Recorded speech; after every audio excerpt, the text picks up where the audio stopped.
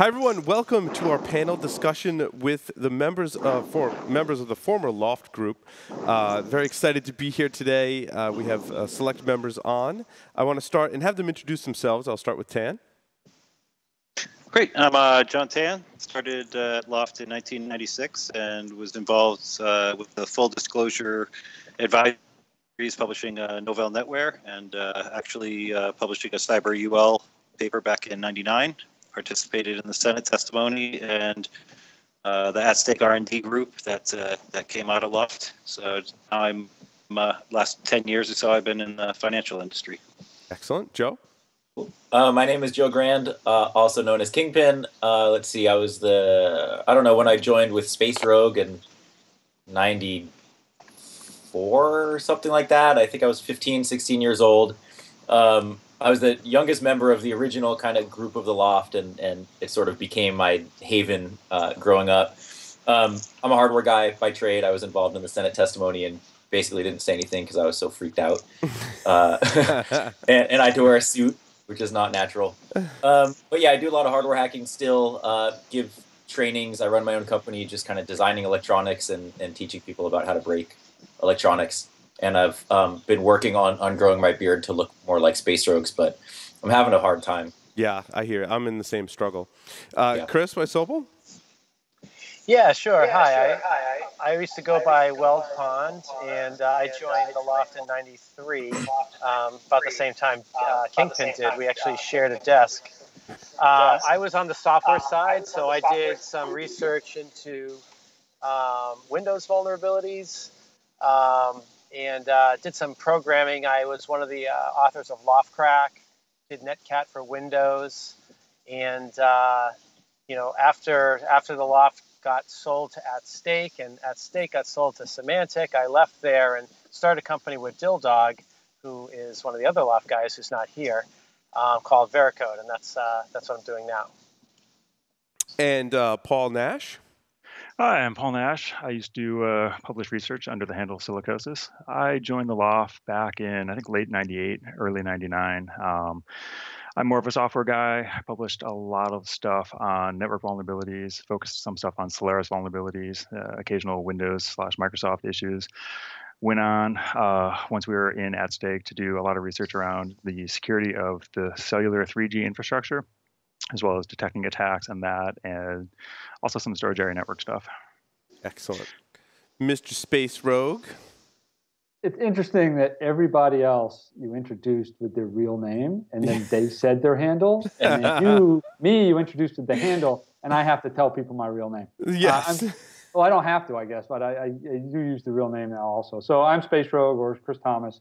Um, I was joined the L0pht with Kingpin back a bazillion years ago uh, and while I was at the L0pht, I did uh, Hacker News Network. I also ran the uh, WACMAC archives, and uh, currently I'm working at Tenable as a strategist. Excellent. So, uh, how did all of you, uh, I guess, you know, individually get involved uh, with the L0pht group? Like, what was going on in your lives at the time that kind of led you to uh, to join the L0pht or create the L0pht? Well, I think it all started with Brian, who's not here, unfortunately. He invited all of us individually to be members of the law. And he basically knew us all from his bulletin board, uh, Black Crawling Systems. Uh, and so you had to know him on his bulletin board first. Oh, wait, no, you had to meet him in, real, in person first, and then he invited you on the board. And then if you were lucky, you, you got invited to the law. I think. Was, was there like yeah, a, I mean, was there a test or? you had to hack the Gibson yeah, I wouldn't say there's a test. It, you sort of had to be able to contribute something. Like, uh, you know, he looked at me and said, "Oh, he can program.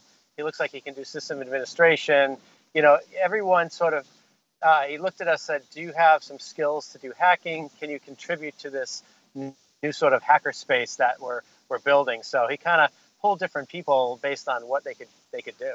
Yeah, you sort of have to remember that back, you know, back in the day in the early 90s, the hacker community was a lot smaller. There wasn't a formal security industry. Like we were a bunch of guys on or kids on bulletin board systems, you know, all kind of Boston area hackers. So uh, it, it, we had some get-togethers once in a while, but we pretty much knew each other from the bulletin board systems. And when the L0pht had started, you know, formally with with Brian Oblivion and Count Zero, kind of moving all of their electronics junk from their apartment to this loft space, that's how it sort of formed.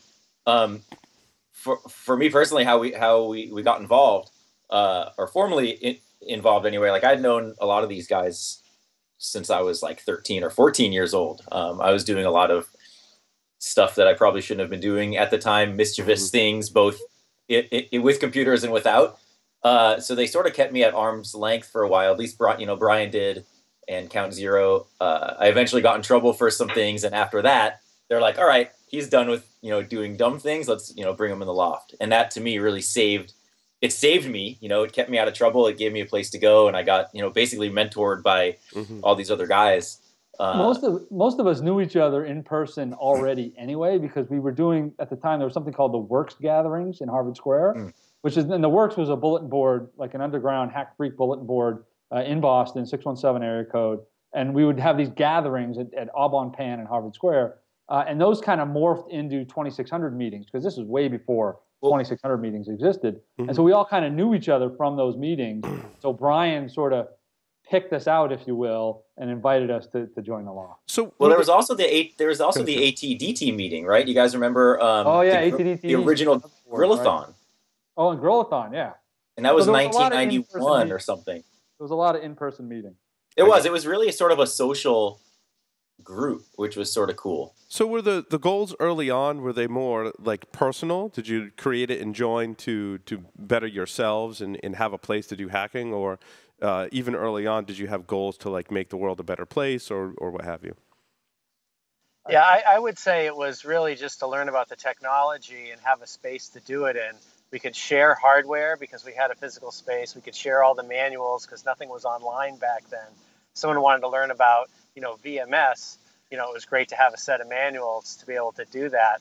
Uh, and if you wanted to learn about networking, you had to have a bunch of computers to network together. I remember the, the first time we actually got our network up and going, we were using LAN-MAN technology. It wasn't even Ethernet.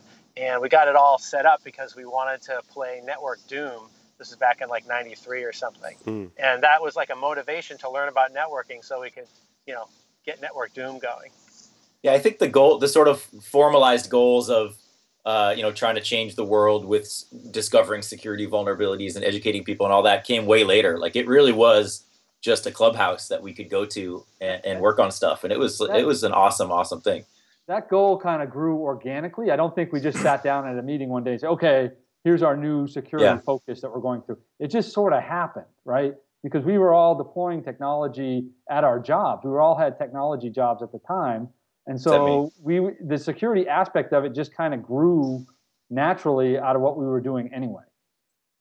Yeah, for me, I think a lot of it um, goes back to the BBN days because a, a, large portion of us worked at BBN, and we found a number of vulnerabilities with the technologies we were deploying, and publishing them under the L0pht was was very convenient. Yeah, because you couldn't really publish them under BBNN, could you? Right. Was that one of the, the goals for all of you was to have a place to publish vulnerabilities, or did, was that something also that grew kind of organic? That was way later. I mean, that was mm. you can almost think of the L0pht in, in two separate phases. You had like the original L0pht in the South End, which was like a totally kind of it, it, was a neighborhood you didn't want to go into. We had our our, our uh, a local crack fiend that we called Jack the Crack Fiend that would sit outside on the loading dock and like store his crack pipes underneath a little cover on the loading dock, and like you know that was a much different phase of the L0pht.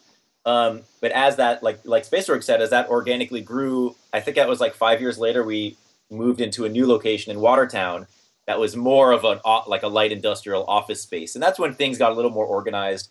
And uh, you know, we, we all started to realize that we could maybe do this as a full time you know thing and quit our jobs uh, at that point. But it really was these two separate phases of like the original L0pht as like pure hacker uh, hangout spot and people would crash on the couch and all this stuff to then more of like a formalized almost like a hackerspace you'd think of today but still more private. Was there a lot of other people who gravitated towards the, the L0pht to come and hang out? Was it a social oh, yeah. gathering place? That was actually one of the problems that we had early on as joe said in the uh, kingpin said in the first phase right? We would it was kind of a hacker flop house people would come yeah. by and spend the night on our couch which we didn't really like. And, and that was kind of one of the reasons why we decided we had to move further out of the city, uh, so that we you had to at least take the bus to get there. Um, and but the other, that's the other thing too. I mean, it's a good point because if you look at the people that were were kind of surrounding the L0pht or who were in 617 at the time, and you look at the people who are in the information security industry now, there's so many people that crossed over that we interacted with back then that interacted with us. Uh, and I think it's not just L0pht, it was like all of 617 just kind of grew up and been, oh, we're security now. Uh, there's so many people in the industry now that were around back then that were in that small little community. Was there uh, an economic model to pay rent early on, and if so, what was it? So I handled most of the bills, but uh, yeah, everybody paid a share of the rent, uh, and then the goal was to try to raise enough money so that we wouldn't have to pay the rent out of our pocket. Mm-hmm. So pretty, Yeah, ear- we- pretty early on, it sounded like there was a business aspect to it. Nah, I think I, I think like the first few years we were all paying rent. My parents were actually paying mine, which was awesome because I was in school and didn't have a job. And uh, and yeah, Weld and I shared a desk, so it was half of the normal price anyway. So it was a great deal. Um, Mhm. but yeah, I don't think that even came in into into our minds until we moved to the new spot, and we're like, all right, how can we how can we offset our costs? Like, let's make T-shirts. Let's do the Whack Mac archive, right? Let's do Black Crawling Systems. Turn that that BBS into an actual CD uh, you know, try to give to the community in ways that would help support us at the same time. Mm-hmm. Yeah, I, I think there was the time. And, and there we- was actually a decision. Go I was just going to say there was actually a, Yeah. uh, a decision point where we were we were wrestling whether we would be nonprofit or you know uh, some sort of for-profit corporation. So um, it definitely wasn't you know all out business, but obviously you do have to pay the expenses. Having them come out of your pocket isn't all that fun. Right. At some point, right around the move time, between the time we moved from South Boston to Watertown, we actually incorporated it as an LLC. So we were an official business entity, um, mostly just because uh, we were taking in income and we sort of had to do something with that income, like officially. Mm-hmm. So we incorporated as a LLC, but that sort of sort of pr- furthered us along the road of actually, you know, trying to pay for itself. How much of that income came from dumpster diving and refurbishing computers? A lot. A lot. Really, the MIT, a lot. The MIT flea market was our like annual gathering to, you know, we would just a, a monthly. Yeah. I mean, we would gather stuff out of dumpsters and this was for real. Like you'd read articles about us or like news reports and it's like, we actually went and rode our bikes around and collected stuff out of dumpsters or drove the cars. of the old fleet. That's the thing. That's the thing that got me. Like we would go, we'd load up a truck, we'd rent a U-Haul, load it up with equipment that we all got from our day jobs, drive to the or from the MIT trash. Yeah. at 6 a.m. and we'd hang out at 6 a.m. until 9 a.m. until they opened the gate. And in the meantime, everybody's riding their bikes around MIT, looking through the dumpsters for more stuff that we can sell at the flea that day. Yeah. Yeah, it worked, and that that was a huge thing. That's actually how we met um, Lady Ada. You remember that? Oh, And yeah, Window, I- and Window. And Window. Showed up there, yeah. Oh, Yeah, that's funny. Yeah, that was definitely a hacker, That was and spot. still what, and still is to this day. They still have that uh, MIT flea market, right? I went back there. I went back there just visiting um, last year, and it's like a lot of the same old timers are still there, and they're just as grumpy, Mm. the same old crap. But it's an awesome, awesome spot, and like that would be our ritual. And after we'd sell stuff, we'd go to like the, I don't know. The, remember that like uh, restaurant in Harvard Square we'd go to and hang out. Oh, with Goggle Play with our 13. Yeah, play with our new Yeah, stuff, uh, and then the pizza place with the with the Street Fighter video game. yeah, yeah, yeah, yeah. I remember. oh, that's that's really cool. Um, so, what was it like discovering and disclosing vulnerabilities? Uh, you know, kind of early on, and how does that differ from today? Yeah, I, I think the disclosing the vulnerabilities was what sort of pulled us in the path of like, you know, we can we can help out people and publicize that, you know, there's a lot of security issues with, you know, personally and for businesses because we would disclose a vulnerability in something like Windows and the press would like swoop down on us. We'd get be getting phone calls, be getting interviews, we'd even be getting on TV because of some of this stuff. And that started to, to make us think, well, if, if disclosing vulnerabilities is getting this much press, it must have a big impact on society. And I think that really pulled us in the direction of, hey, we should figure out how to do this the right way, and we should figure out how to educate people. So that was a, a critical part of the loft becoming more of that consumer advocacy group that ended up, you know, going to the Senate. Mhm. And you know, we had all been sharing information with each other and information with other hackers throughout our careers, if you will, or whatever. But um, yeah, like sharing those publicly, and I think we were at a point where we were not really afraid of what would happen, or there we didn't even think about that. Right, that wasn't even a concern. It was just getting information out to the public. And when the media grabbed onto it, it was like, great, we can we can try to try to be the front face of like this, you know, vulnerability disclosure sort of thing. But now the front face, and we all, you know, we talked about your hacker handles. Was it important back then? Did you how much comfort did you take in having you know the hacker handle persona uh, back then? The handle was very important because of the fact that we were releasing uh, vulnerability information. The the rush to litigate by companies was much worse than it is today. Right. Mm-hmm. Today, if somebody tries to litigate you for reporting something, it makes the press and and everybody pays attention to it. Back then, if you got sued because you tried to release something, that was it. You were pretty much on your own. So the part of the reason. well, we we, all, we also. Yeah, go, go ahead. ahead. Go ahead. Was that Tan? I was just. Yeah. I was just going to say that the uh, uh, they, they wouldn't just uh, try to go after you legally; they'd also go to your employer. We had someone that came in and was uh, working with us a little bit on the uh, the L0phtCrack stuff before it was ready to go, and uh, wrote an article in Byte about it under his real name. And you know, they, he got all sorts of pressure. It's not just directly legally, but um, you know, they came down on his employer, threatening mm-hmm. to, all sorts of stuff on them if they didn't handle him. So uh, using the the pseudonyms was pretty uh, pretty essential. Mm-hmm. Yeah, we weren't even. It's not like we were just pissing off the vendors. Like we were just pissing off other people in the security community at that point. A lot of the academics didn't understand why we were releasing information, why we weren't just writing white papers and going to academic conferences. Like we were coming from a totally different angle and sort of intruding on this, you know, nice formal, well-defined family of academic security researchers releasing stuff. And like, I, I remember some emails, people are, you know, why are they handing, hiding behind handles, blah, blah, blah. And it's like, you know, that was an important part. And we had done it all through our life anyway. So it was just a kind of normal thing to do.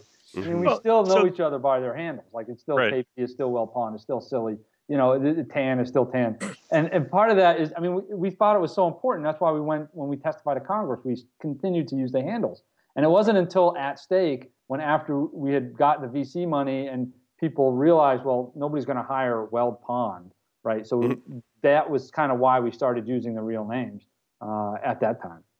Well, some of us got outed uh, without our permission anyway, right. even at that point and some of us held on to our handles much much longer. Yeah. Yeah. Well you know the other thing don't forget i mean we so i worked at uh, when i was at bbn with uh, with mudge and then eventually with uh, Wysopal, we ran security there. So we were doing security for bbn and we were discovering all these vul- vulnerabilities in these products and the vendors were just ignoring us. And so we got zero traction giving them the information until it was published by this this magical third party called the L0pht.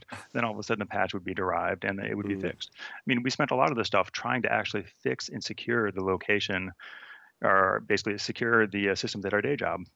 And it was weird too because then you had the whole hacker um, community and they didn't like it because all of a sudden you're publishing stuff that maybe other people found maybe they didn't it's the whole hey you just you blew a zero day it's like why are you doing that why don't you just hoard onto it because there's this whole movement of people that just wanted to collect and hoard the zero days to use is. them yeah, and there still is absolutely. Yeah. Um, well, now there's actually a market for it. Back then, it was just more for status. It's like, well, I have the latest RPC exploit in uh, Solaris or what have you. Mm-hmm and it was just for bragging yeah, rights. Now, right there, and there was no money to be made back then. Like we weren't doing it no. for money. There were no bug bounties. Nope. This was a sort of a new, oh, a man. new Imagine way of doing. If there was things. a bug bounty back then, we'd be stinking rich right now. Yeah, you yeah. wouldn't have to go to the MIT flea market anymore.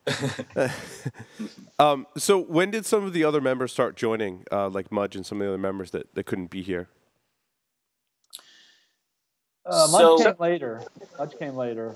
Uh, yeah, Mudge came when we were in, in the Watertown, just about when we moved to Watertown. Mudge yep. came, and then uh, I would say DilDog and Silicosis came a little after we were in Watertown for like a year or so.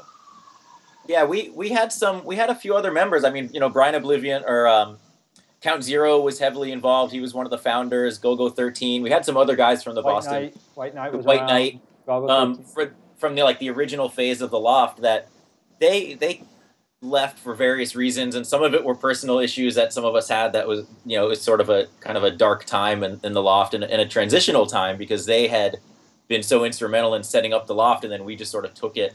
Uh, you know, Count Zero left, and he was a huge mentor of mine. And then Mudge came on, and then we decided to go to Watertown, and then it, that was the next step. Mm. Uh, but there were definitely some, you know, instrumental people in, in the L0pht back then.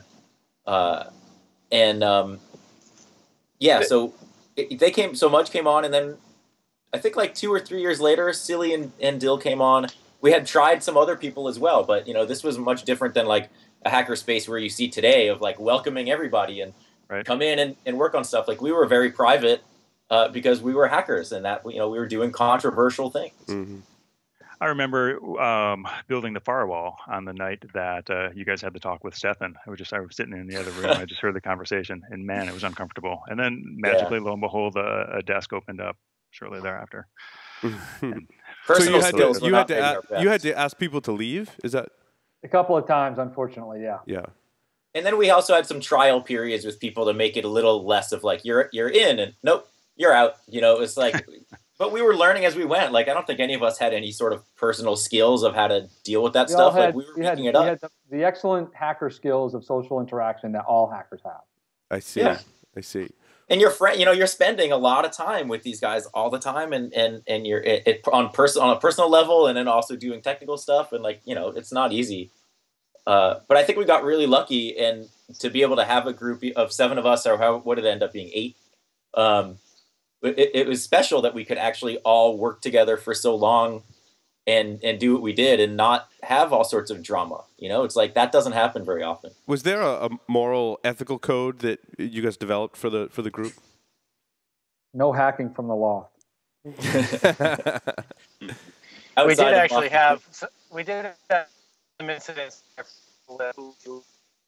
You're breaking up. You're Will. breaking up, Gareth.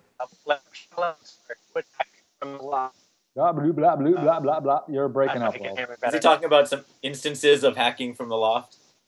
Uh, I know, have Yeah, I was no going to mention. I was going to mention a certain guy who hacked NASA from the L0pht and kind of caused us some pain. Mhm. Oh, right. Because we had, we would sell, one of the ways we made money was we would sell shell accounts on our box. Oh, okay. shell account Oh, yeah. You couldn't Yeah. get onto the internet really easily. So we had a, our Solaris box, and we would sell, you know, five dollars a month shell accounts or whatever it was we charged. um, and we had a couple of instances where people were using those accounts to do bad things. Yep.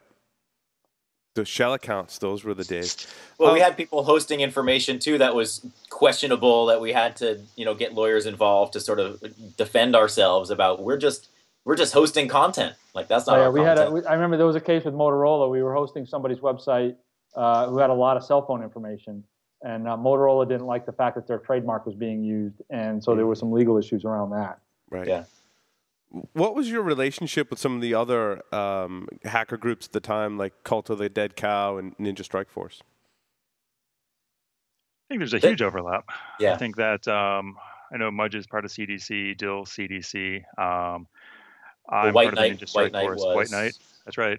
And I think there's that. And there's also the crossover with the other hacker households as well. I mean, there was uh, New Hack City, uh, where I lived for a while with uh, Veggie, Death Veggie from CDC. I didn't know you Uh, were back. Yeah, no, no. Yeah, I lived at New was Hack. also, yeah, because there was also Messiah AG, Village, Messiah uh, Village. Yeah, Sin exactly. House, uh, Yep. there's three or four other ones around. Oh yeah, There's a lot of that hacker commune stuff going on in Boston at Right. the time. Mm-hmm. that'd be like the late later '90s is Yeah. when that stuff started up, Late- right? Mid to late '90s. No, no, I think it was earlier. I think I would say definitely mid mid nineties. I mean, Messiah Well, Village Messiah was Village was 94, I think. 94, 95. What, what right. was I remember Messiah. Village? Was that in the Boston area? Yeah, it was over in uh, what Roxbury. Uh, no, Jamaica Plains, JP. Bad neighborhood either way. Yep. So now, at some point, uh, how did it come about that you were uh, called upon to testify at Congress or lobby to testify at Congress? Like, how did that all play out? I think it was an article in the Improper Bostonian that started it. It has a domino effect. Yeah, so we got an article in the Improper Bostonian. It was a multi-page spread, and it was basically a weekly magazine, newspaper magazine in Boston. And a reporter from the Washington Post saw the article, and he called us up and wanted to do an article in the Post. So they did the article in the Post, and then one of the staffers for Senator Thompson read the article and got in contact with us, uh, and that started the ball rolling to get us to testify. Mm-hmm. Okay, so it was an external uh, entity almost that, that drew you to. Yeah, Um, they came to us. Yeah. And, but then you had the idea to rent a van and drive down there. What, what, what was that? You got, you got to talk about the drive down there because I've heard a lot about the drive down there. Epic. It was awesome. Except when Stefan was driving because he, he was a horrible driver. So you all pile in the van. Like, what was your strategy to go testify before Congress? There was a bunch of hackers in a van. I heard you made a, a pit stop at the NSA uh, when you're driving down there. But like, what was the strategy? uh, drive to DC, testify, drive home. yeah, I think we're hackers. I think a lot we didn't have a strategy. I think it was sort of this like to me it felt like you know a band going on tour right where everyone rolls into the van and like I'd always wanted to do that so that was just an awesome experience to do a road trip with these guys. Um, Mudge was really the one that tried to put some order around it because yeah none of us you know we had we had some radios in the car and we were like writing some code and we had a big antenna on the on the top of this van and we were just you know hacking around and talking and stuff but but Mudge um, really did put the effort together to like all right let's get some written testimony that makes sense. You know, I'll speak first, and then and then Weld and and Space Rogue, and then me or whatever. Like you know, put put it in order. And I remember the night before, like we had practiced. We all sat in in, in a room and practiced what we were going to say, uh, at least for our opening statements before they, the senator started asking questions. So that we didn't really have a plan other than Mudge sort of helping us get it all together. And uh, in general, I'd say it turned out all right. So was the comment about being able to take down the internet in 30 minutes was that rehearsed or did that, that just get blurted? That was just blurted out, right? Mudge, Mudge, that no, just happened. It wasn't. It wasn't blurted out. It was planned, but it was only planned by Mudge. I don't think he told anybody else. I didn't know anyway. Did anybody did else you think know? it? Did you think that was planned? Oh, he, yeah. I did. I did. When he said that, I was just like this. Oh my god. and all the and all the camera flashes started turning on. Like every all you know, the reporters were taking notes, and as soon as that happened, they like jumped up, pictures taken. I was like, oh my god, this is horrible. Because I'm a hardware guy anyway, so it's like, how am I going to explain that to people? Yeah, But but the thing it's- is, though, it was true because It was I totally mean, true. It was. Yeah. yeah, exactly. I mean, we so uh, we were working at BBN doing the whole internet backbone for NSFNet and a bunch of the other um, early internet service providers and uh, DARPA networks. And it's just like as we learn about the the protocols that were used to route traffic across the internet, it just the vulnerabilities were so glaringly obvious. Yet it just uh, it wasn't well known. And so I think that uh, it's just some of the stuff that uh, we just saw in our day to day jobs, and it's Yeah, it, it and is that that's still the case, right? Like some of those vulnerabilities are- have still not been fixed. Uh, you know, yes and no. I, I think that uh, BGP still has issues, but I think that uh, a lot of people are secure, doing a more secure deployment of BB, BGP and actually using the authentication functionality, and they have tighter uh, routing announcements that I think don't. that one, one of the interesting things about that whole 30 minutes thing was the fact that afterwards, people would come up to us and say, "Hey, were you talking about you know X Y Z as how to take down the internet?" And we were like, uh, "No, but that'll work too." Because there were so many issues, and there still are, but there were so many other issues other than just the one that we found uh, that it really was and still is a very fragile ecosystem. Yeah, that's uh, that's interesting. So, was it after the the testimony that you had decided that uh, you wanted to become more formal um, and make it your day jobs? Was that the goal of of you know coming under the at stake uh, banner? I think no. I think the original thought was we just want it to pay for itself, and then at some point we said, well, we want it to pay for itself and pay our salary. We want it to be our day job. hmm And I, Yeah. I don't know if the testimony was involved with that decision or not. I don't think so. But in the in the process of getting it to pay our salary, we had to get VC. And when we went to look for VC, all right, go ahead, Paul. No, no, it's not true. I mean, we had paid gigs. We did the consulting, right? Yeah, so sure. I did the Mhm. NFR stuff. So Right. I was allowed to leave BBN to focus on the research that I was doing at BBN, but full time instead of essentially at night and on weekends. So that allowed me to focus like summer of '99 on the stuff. And that NFR gig, I mean, that brought in a lot of cash. That was big lot- though.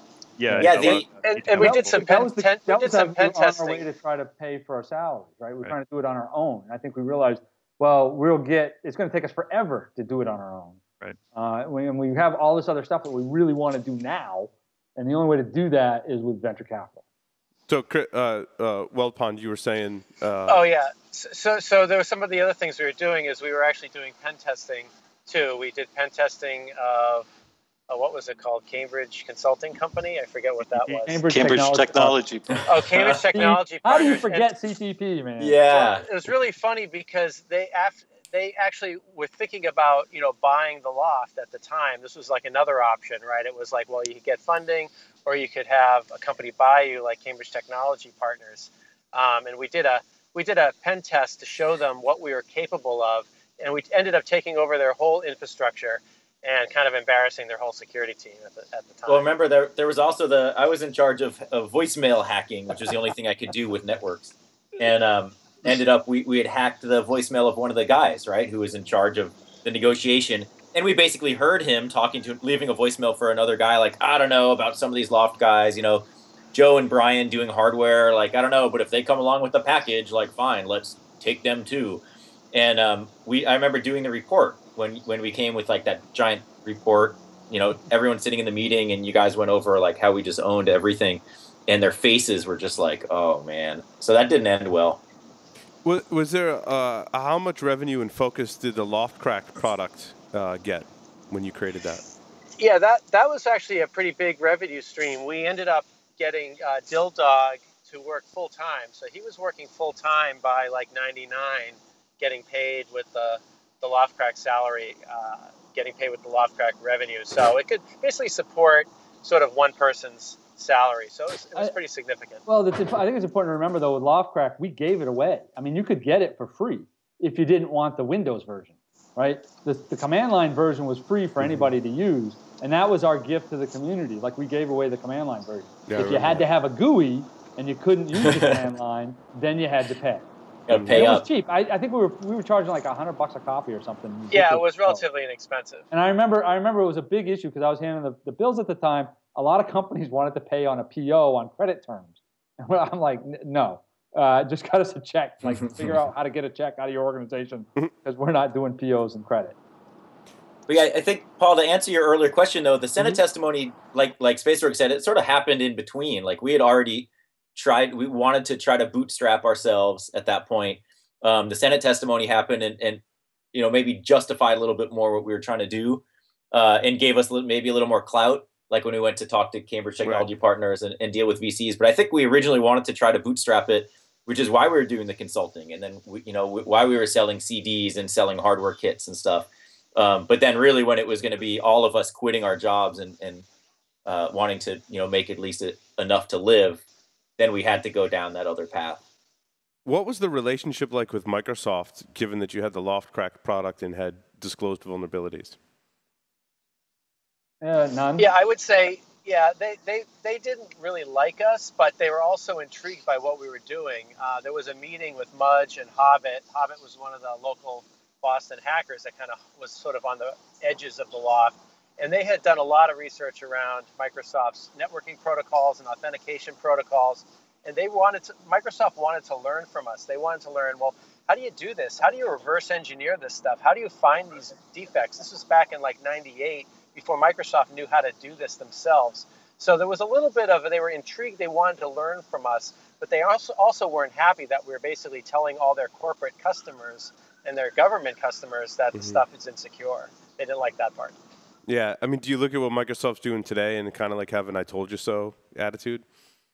Well, no, I think that uh, it's. I think we were a huge factor in the security program that they have today. I, I think that we helped shape the vulnerability disclosure process at Microsoft, and I think the later work at at Stake to help incorporate uh, security uh, or software security into their security and software design lifecycle. It was huge. And I think uh, for at Stake, Microsoft was a huge, huge customer. Yeah, so AtStake was instrumental in, in helping Microsoft at, at that time, correct? Oh, absolutely. Mhm. Yeah. Um, so what what was it Ask like? Dan Geer about that. so uh, what was it like when uh, you first began to uh, become at stake? So did you kind of feel like you were losing kind of that L0pht edge when you were part of at stake, or like what was the general feeling when that happened? Well, you know, it was it was pretty crazy. We went from I spent like summer of '99 in this warehouse space with zero air conditioning, no ventilation whatsoever. With like, We had an air conditioner, one. did Yeah, you? We I gave you remember, one.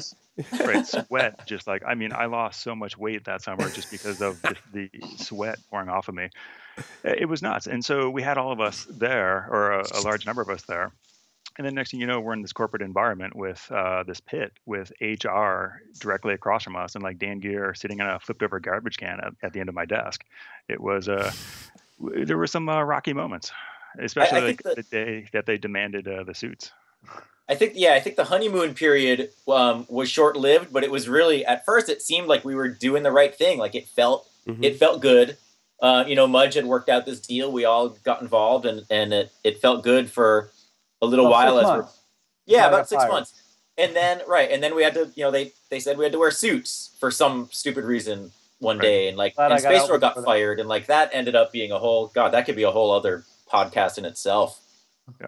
At, at, at, what point did you start asking, "Where's Mudge?" And there's been a lot written about that. So the floor is. That yours. came later. That came a lot later. The 1st mm-hmm. thing that I, I I I personally want to put on record is that was like you know that was later on. I think the original downfall really was Space Rogue getting moved to the marketing department because he was running yeah. HNN, and none of us did anything about it. Right? We're like, well, we're the rest of us are still in the R and D lab. Like we're doing what we want uh, you know, people are calling us, you know, prima donnas from the L0pht and stuff. The, all the consultants outside of that area, but I don't think any of us really cared.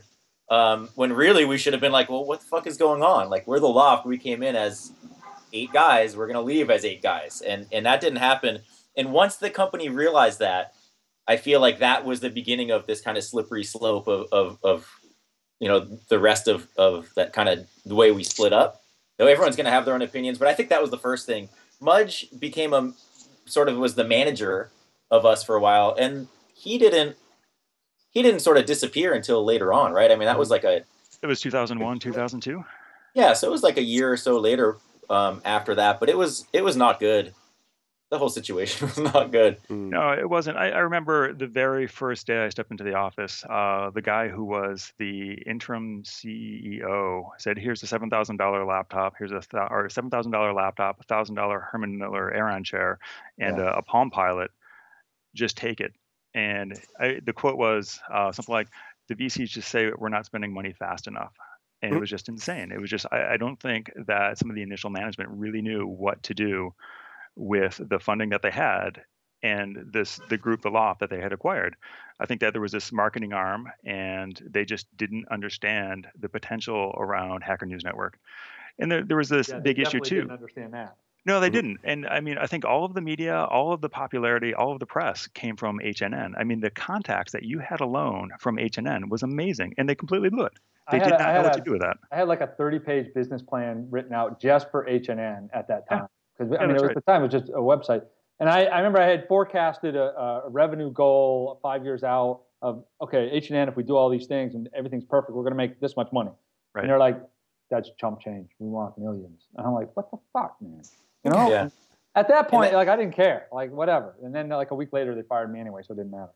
But now, space uh, H and N. Uh, a lot of people recognize it from the video podcast. But when you're talking about it, it was a, a editorial website. website, correct? Yep. Yeah, it was. I was trying to model it after the Slashdot model, which, if you remember at the time, was mm. the website, right? Mm-hmm. Uh, and I was hoping or trying to do a, a hacker version uh, that covered a lot of the same or, or variety of news uh, and added some some you know the hacker side to the stories. Uh, and so it, it, was a really popular website at the time. I mean, if if you look at some of the videos that the that were coming out of the government at the time, the, the massively produced videos, and you look in the backgrounds everybody, all these cyber, well, they didn't use cyber back then, but all these cyber people in the government have HNN on their screens in the background. And I, and I just always thought that was very neat that, that and I, I, I was found out years later that uh, it was actually HNN was the basis for the NSA briefings inside the NSA. Like they would read HNN and the guy would write the briefing and then give that briefing basically off of HNN. Uh, you know, I believe it because I mean, you were up at like what four o'clock in the morning, oh, scraping all of the news sites day. every morning. So like by six, it was published, and it was amazing. You can go there every morning and get a nice summary of all the security-related happenings over the, like the past 24 hours. Yeah, so, Space yeah, so was Space was doing the news.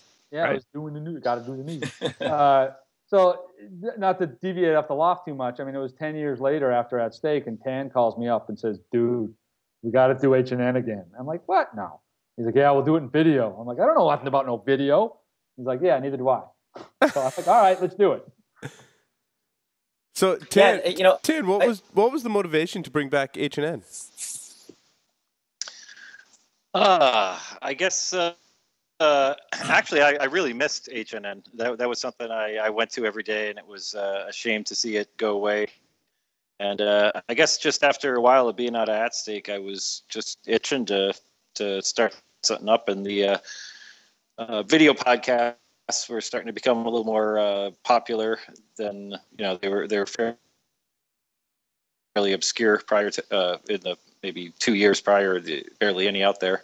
So yeah, uh, we were hoping you know it would take off, and I guess we ran out of runway, but. uh, Well, I think the problem, Dan, was that neither one of us were really salespeople. and so trying to Yes, sell ads, it, it was just like we couldn't sell, we couldn't get anybody to to pay the big bucks to make it pay for itself. So we're trying to do a full time job plus H and N. It just it, after what was it two and a half years, we just couldn't do it anymore.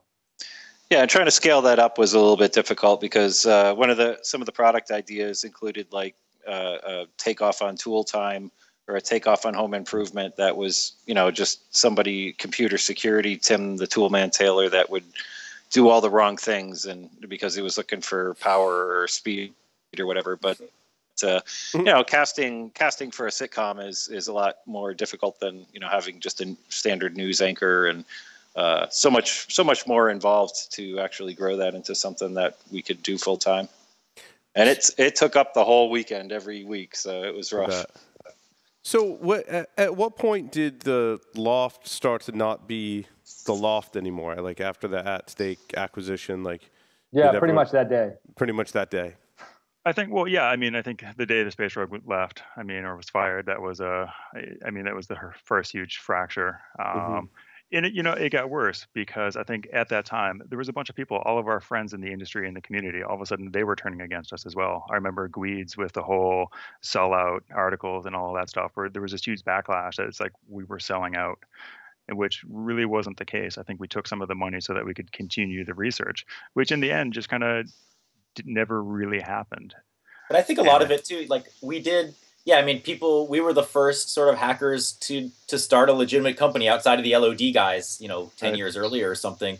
And so it was hackers sell out, and people assumed we were running the company, and we took all this the ten million dollars for ourselves, blah blah blah. But it wasn't. Like we had started a, a real company, and we were just one piece of that company. And yeah, when Spacer got fired was sort of the the downside, and like you know, a lot of us sort of split up and and didn't see each other on a day to day basis anymore. Or, you know, I think Weld moved to a different office uh, outside of the lab. But even with all of the bad stuff, like there was still some good things that came out of it. Like we were still working to push security and to educate people about security and continue to do research and give talks and write papers and advisories while balancing like serving the VCs, right? And serving the CEO and the rest of the company. It was just, you know, extremely frustrating, but a really good learning experience for, you know, moving forward from there. Now, I mean, I- other I- other than Space Rogue, we we know about his unfortunate departure. But when did uh, the rest of you start to move on from from at stake? I, I think Brian. so. Brian, So yeah, so Brian ended up. I actually ended up fi- having to fire Brian because Oh. when Mudge Mudge left, I took over as the manager and the CEO at the time. You know, basically we had some bad quarters in a row, right? So this was remember this is like 2002. The economy is not doing so well, um, and there was going at stake had layoffs, and the CEO was of the mindset every department has to be touched. There's no there's, there's no ivory tower. No one. It it has to be everywhere. So I had to make a hard decision to lay off Brian because um, he he had the less capab- least capability to make short term money for the company. Basically, that was part of the part of the um, decision criteria, and we were all getting pulled to make money short term. Like I was getting pulled to do consulting all the time, Mhm. you know, flying out to Microsoft and doing that. And I know, uh, you know, DilDog had, had to do that too. So it really kind of changed the whole research, long term investment uh, mentality that we sort of went in with. Mhm. Yeah, I don't think a lot of us were planning to be to wanted to ever be consultants. Um, and that was something when, Right. when Brian got fired. What, uh, the way I heard it is that there was not, you know, enough. He was doing a lot of wireless stuff, and he had set up GorillaNet back in the loft and doing, you know, Wi-Fi, which was sort of this up and coming technology. Mhm. And um, you know, I, I think that the wording from from some, you know, manager higher higher up, uh, you know, way above Weld was like, well, wireless isn't getting the traction that we need, or something like that. Which is, you know, funny looking back at it, but at the time that was the justification. Um, but yeah, no, I don't think I personally didn't want to be a consultant. And when Brian left, he was, you know, again, I've, having grown up with with these guys, and and especially Brian as that mentor, and he was gone, and he sat right next to me. It was like, all right, this is, you know, this is not right. And I think I left like a few months later, 2002 or 2003. Yeah, it, it was crazy. We had the lab space, and all of a sudden, one by one, people started leaving. Yeah. It was just awful. Um, you know, another thing too, that another moment that killed me was the whole issue of uh, vulnerability disclosure, where we started off at L0pht doing vulnerability disclosure, and then all of a sudden, Atstake said, you know what, we can't publish vulnerabilities because it's going to hurt the bottom line. Hmm. What? But at first, Yeah, when we awesome. first joined with them, they said we could, right? They're like, Right, damn right. straight, we hire hackers. We're going to do this. We're vendor neutral and everything we wanted to hear. But then when it actually came down to it and the VCs, you know, were really running the show, that's what they're like, nope, not doing it. yeah, Well, exactly. part of And I it think- was we wanted to have like Microsoft as a customer. You know, Right. we started off with like the banks as customers, um, enterprises, and then we started to have software companies as customers, and then you're starting to get into this conflict as a company that that really was a struggle. Well, that's what you know. That's sort of a typical conflict these days, right? Is like we came in from from a point of not caring if we piss anybody off and and not making money to now people have you know security companies are very careful about what they release. A lot of their releases are purely to to get that you know extra media coverage to get that next client, right? It's just a much the publicity. different way of of vulnerability research than what we were doing. Like it's a totally different world. Mm. Uh, along those lines of being a different world, if you were to testify in front of Congress today, what would you say different? Uh, nothing. Or I just you? show them the tape from 10 years ago, 15 years ago, however long it was. And maybe say more and not wear such an expensive suit. yeah.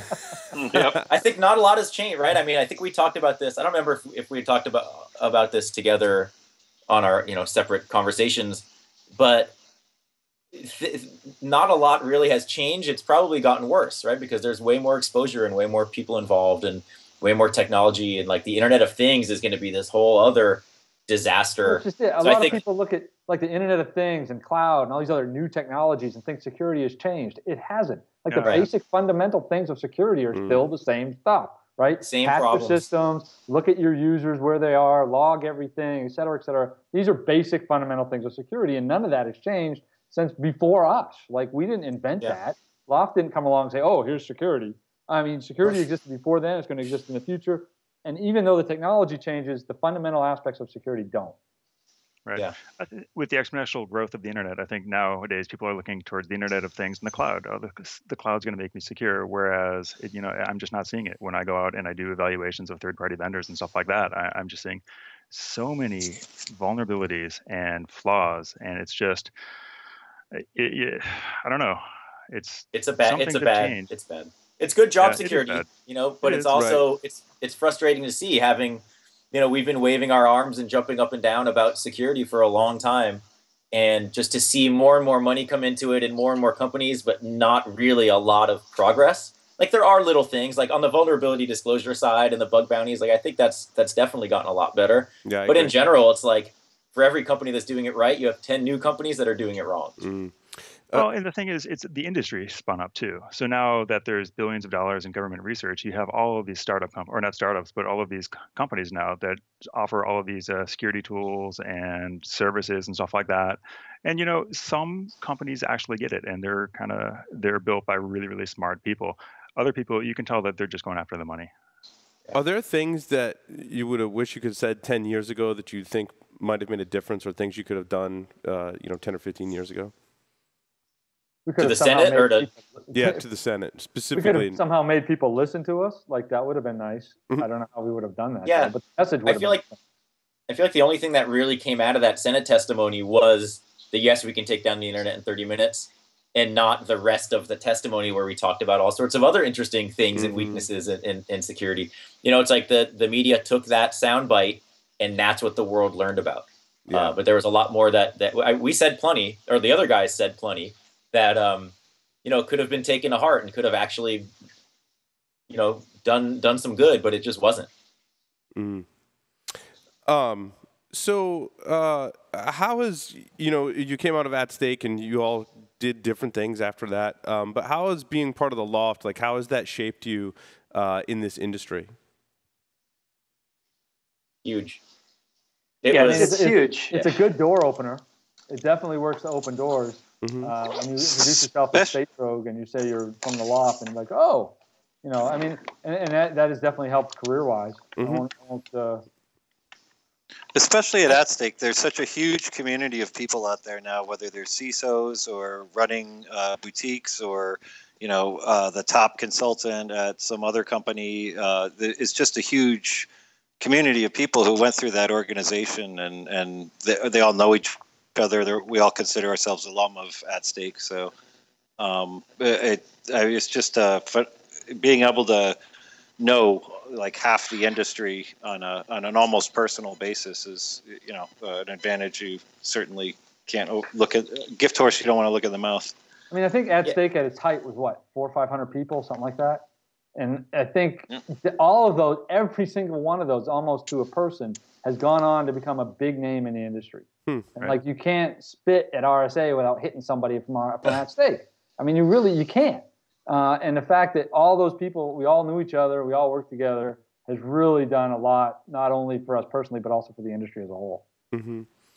but yeah, be, but being ahead. part of the being part of the L0pht though is like that. You know, I mean, none of us knew what we were doing, right? And it, it turned out to be a great thing. And and again, it's like to to be there at 16 to 22 years old with you know a bunch of a bunch of mentors, and, and at that point, like you know, there were not a lot of other people hacking on stuff, and it was just a an awesome, awesome place. I, you know, I don't know if it like, yeah, like Space said, people are like, oh, cool, you're in the L0pht. Like, I don't know if that if that adds any professional clout or whatever, but like, it's it was an awesome experience to be involved in. It's just it's it's cool to see that people actually still know about it and sort of know the history of it or even care to know about the history of it. I don't think 15 years ago or 17 years ago, how many years ago it was, when we were actually there doing the thing, we thought like, oh, 20 years from now, everybody's going to know who we are. Like, yeah, that, that was not in our, yeah, yeah, no. yeah, I think I think one of the things the L0pht gives you though is it gives you this perspective because we were there at a time when the computer security industry was basically just antivirus companies and a firewall company, and we have perspective of how the uh, the techniques that hackers used of like breaking into the software, hacking it, um, reverse engineering it, and the whole idea of doing penetration testing on software uh, and hardware uh, was that was a formative time for all that. It gives you perspective. It always wasn't that way. It was really the hacker community brought that to the way of doing security today, and we were there at that time. So it's it's very satisfying to know that we helped bring that along, and I think a lot of people recognize that. Yeah, I think with that stake too, that sort of and, and well, this is probably true for you, but it, it, taught me a lot about how businesses are run and how you know VC-backed companies are, and how executives can control a company and how it can change the feel of a company. And I took mm-hmm. that to to go off and you know start my own thing, knowing how to run a company or how not to run a company, really to run it, you know, run it differently. Um, and I'm assuming that some of you, you were able to take some good pieces out of that too for Veracode. Yeah, certainly. It was a learning experience on like how not to do some things, and I think yeah. DilDog and myself brought that to, to Veracode, and here we are. Veracode's lasted ten years, and uh, mm. at stake only lasted five. So we're doing hmm. something right. Wow. Are there things that you like look back on and you're like, wow, I got away with that back then, like doing some of that stuff that you look at today and you're like, wow, I, I think we'd all be... be in jail if we tried to do it today. Yeah, yeah. is that really is that sure. really true? I was wondering how true that really yeah. was. Oh yeah, we'd all be labeled terrorists. Ter- I'm terrified for my nephew. Yeah. I'm terrified for my kids. It's something. Yeah, I mean, we were doing things. You know, the, it, the the laws were different. The industry was different. The government was different. Our world was different. Um, the logging, the logging was different. Everything. I mean, disk space was so expensive. If it wasn't for yeah. billing, it wasn't being recorded. Yeah. So mm-hmm. it's just a different time. And yeah, I'm terrified for my kids and for you know uh, the whole new generation of, of hackers that are getting involved in things and joining hacker spaces and going to hacker conferences. It's like you have to be so careful, right? And you can't sort of push buttons anymore and just see what happens. And you can't just piss people off to see what happens. You're going to be mm-hmm. labeled and you'll be thrown in jail. And well, it's the a other scary, thing too, scary time. There's also the whole organized crime aspect of it. And I think that's uh, that's definitely changed. I mean, if you look at all of the ransomware, CryptoWalls, crypto locker, and stuff like that, I mean, you can see that people are trying to really use malware as a means to generate revenue. And I think it's like becoming very sophisticated. And it's just it's not like it was in the past where it was just a lot of people in academic environments or just people kind of thinking differently about systems and technology, but ultimately wanting to do the right thing. I think now you have sort of this criminal, malicious element that's moved in that's just really trying to uh, profit off of it. Along those lines, what advice uh, do you all have for those getting involved with uh, computer security and hacking in our industry today? Learn from history. Yeah, absolutely. Learn from history. Yeah. Don't do what, I, what we did I back think, then. Yeah, well, I think it's le- learning from history and, and and set up an environment like we did at the L0pht. We, you know, even though things were different, we still set up our own networks to hack on, and we still brought things into the lab. And I think that still needs to be done. Um, but get a good lawyer if you're going to go, you know, public with anything. Well, I think well that's I mean a lot of people nowadays are like looking at websites and banging on websites to try to find vulnerabilities, and they're not really they're not the, the websites don't want you to bang on them because they will come after you legally. So if you want to do that, you need to set up your as as Kingpin said, set up your own environment, get more than one machine, uh, you know, hook make up your own network and bang on stuff yourself. And then once you find and you've done all the research on your own equipment that you own that you can legally do whatever you want with, well then you can write it up in a document and, and do something with it. You know, so with, with virtualization technology and the low cost of embedded systems, what do you think the L0pht would look like today if you were to build it today? Too clean. be just one computer, right? Yeah. It'd still be out of the garbage. That's right. so. I think it would be a totally. I don't. I don't even think you could compare. I mean, if you look at hackerspaces today that have you know amazing resources and equipment, um, you know you can get logic analyzers and, and embedded systems and computers and all this test equipment for basically nothing um, or very low cost, and there's all these open source options. I, I don't think you can compare. Like it's most you know, of, most of your hacker spaces today, though, aren't really what I would call a hacker space. That like L0pht, no. they're maker spaces, and there's nothing yeah. wrong with maker yeah. spaces. They're great. Yeah. I go to them it, all the time, but they're not really what L0pht was doing, like security research hacking mm. space. Well, I think that's also because of the, the risk of, of what hackers are, are are facing. But yeah, it's a different, it's a totally different environment um, I don't know if I would want to have a loft today. You know, like I've been invited to create other hacker spaces, and it's like I've done it, and I've done it with the guys that that I wanted to do it with, and like I don't have that. It, it's a different feeling now.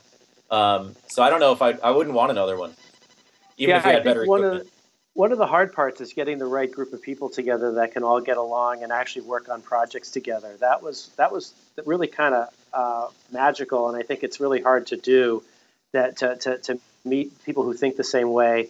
And it, being being part of a team is so much more powerful than just working on something by yourself. To be able to tap into other resources, and that was a big lesson learned. But it's something that's not easy to recreate. Yeah, the ability to look at a problem and or just bounce ideas off of each other. I mean, I think of so many of the discussions mm-hmm. that I had with Dill or Mudge um, back in time, where it was just it was always nice to get another person's angle on it and i think that we would always continue to push and challenge each other and it's just it's hard to find that environment now so uh, I would just, I want to go around in, in, as we close out this interview. Uh, if there are research projects, or if people want to learn more about, hey, you know, what are the L0pht some of the L0pht members doing today? Um, so I'll, I'll start with Tan. Oh, I'm uh, living a undercover life in the financial industry, so not much I can say. no, no that. worries. That's cool. Joe. Um, so I am on Twitter once in a while at Joe Grand. Um, I have a website, Grand Idea Studio, which I basically show off all the stuff I'm working on. I still do a lot of kind of open source hardware design and and teach classes about hardware hacking. So I'm around. I give talks. I'm always available to email. Here's like you know I work on crazy there's a JTAGulator device to let people more easily get involved in hardware hacking and still sort of doing, I would say, like what what I did at the L0pht of like working on projects and trying to educate people um, and you know trying to scrape by a living without having to to, to mm-hmm. sell out again. And Weld Pond.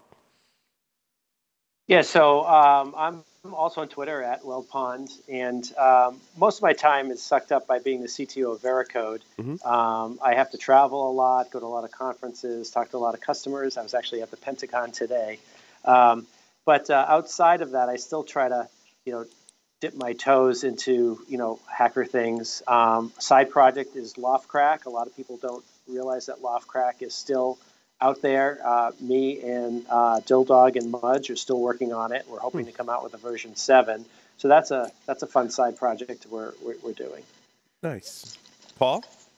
Yeah, so I, you know, I'm still doing a lot of security research uh, at my day job. Uh, I'm just trying to make where I work a, uh, a, better environment and just trying to help foster the security mindset. You know, I've uh, I'm a father of three boys, and I'm watching them grow, and I'm watching them look at the way they approach problems and try to define problems and sort of look for solutions and alternative solutions. And I just try to encourage that. Mm.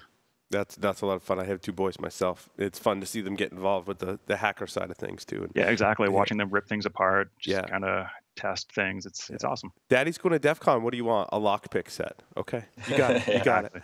And Space Rogue, of course, we're we're fellow coworkers at at Tenable, but Yeah, we don't work as closely as we probably should, which is unfortunate. I know, But, I uh, know. Yeah, so I'm, I'm doing the strategy thing at Tenable. Um, basically, I'm doing occasional talks here and there, some vendor talks, uh, mostly not, which is good. Uh, and then I'm also helping out with the public policy stuff, uh, talking to some lawmakers on the Hill about changing the laws and, and dealing with the, I think the Commerce Department just had their vulnerability disclosure meeting last week. Um, trying to change things from the inside, uh, making the world a better place is still the primary goal. Awesome. Well, I want to thank you all very much for your, your time today. It was wonderful having you on the show. Uh, I will most likely call upon uh, probably all of you to come back, maybe individually, and, uh, and dig deeper into various topics. So, again, thank you very much. Cool. Thank Thanks. you. See you guys. Thank you. Take care. Thanks for having us. Bye bye. Bye.